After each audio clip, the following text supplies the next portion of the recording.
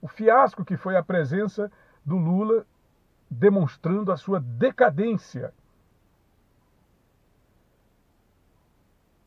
na visita à região Nordeste. O interessante é que eles pensavam que o Lula era um deus, que seria recebido na região Nordeste com toda pompa e circunstância, que o povo iria fazer toda. Primeiro eles isolaram o Lula, com medo do Lula pegar ovo na cara. Isolaram. Depois inventaram, não, é porque ele pode sofrer um atentado lá no Nordeste, lá no Piauí, lá no Maranhão. O radicalismo é muito grande. Olha que mentira, olha que cinismo, olha que disfarçatez.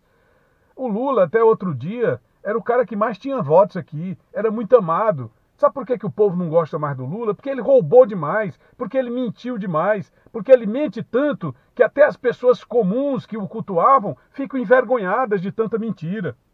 E isso assusta também os seus prováveis aliados políticos, que não teriam como reverberar em palanque as afirmações infames do senhor Luiz Inácio Lula da Silva.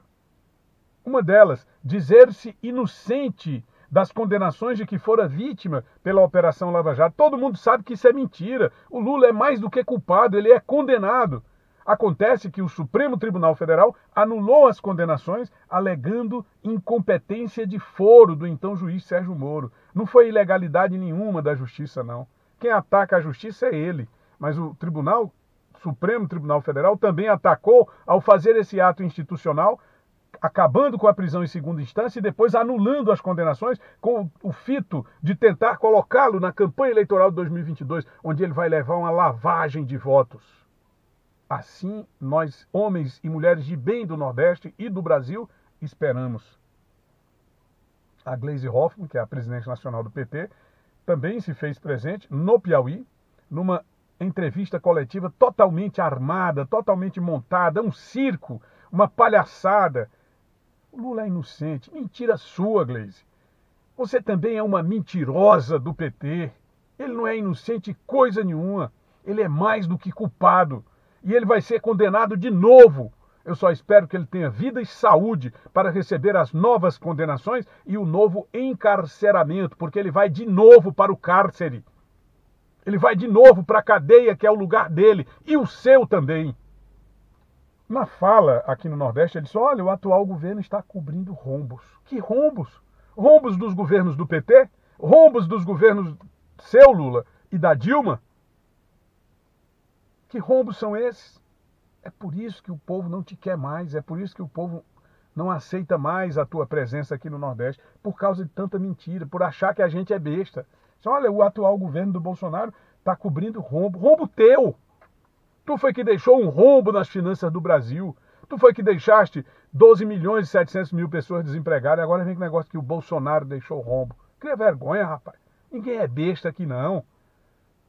Você deveria ter vergonha na cara de tentar achar que o piauiense, que o nordestino é burro. Você tem, claro, os seus fanáticos, os seus sectários, os seus doentes seguidores.